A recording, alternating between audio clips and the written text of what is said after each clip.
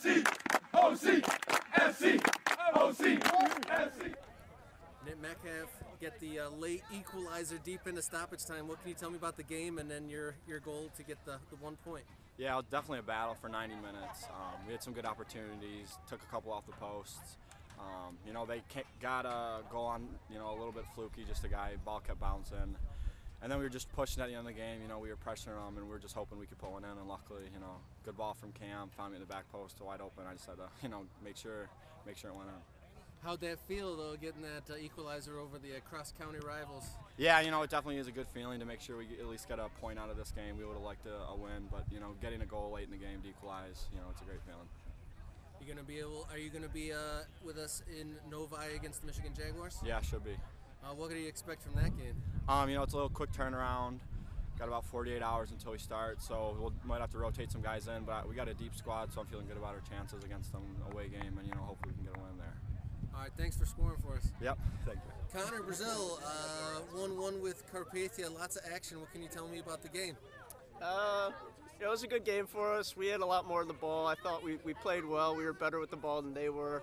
Uh, I think we got a bit unlucky with the goal. Uh, kind of fell asleep a bit, and they got a long ball over the top on us. But you know, we, we had good fight, good determination to come back and get a point out of it. So it was a good good team performance for us. Yeah, I saw you really getting stuck in there and really uh, made a lot of a big a lot of pass up and down this uh, left side. Uh, what can you tell about the physical battle of the game? Uh, yeah, it was physical. They, they, were a physical team, but you know we just wanted to keep the ball and keep playing, and you know we, we played our style of the game, so I think we did well with it, and uh, I thought we played well. So it was good team performance again. Coach Craig, we got the late equalizer. Uh, what can you say about the game against Carpathia here? Yeah, the boys played tough. You know, the thing I, we told them after the game is what we're most proud of is one, they never quit. They keep coming, and we play our game, right? We keep possession, switch the point of attack.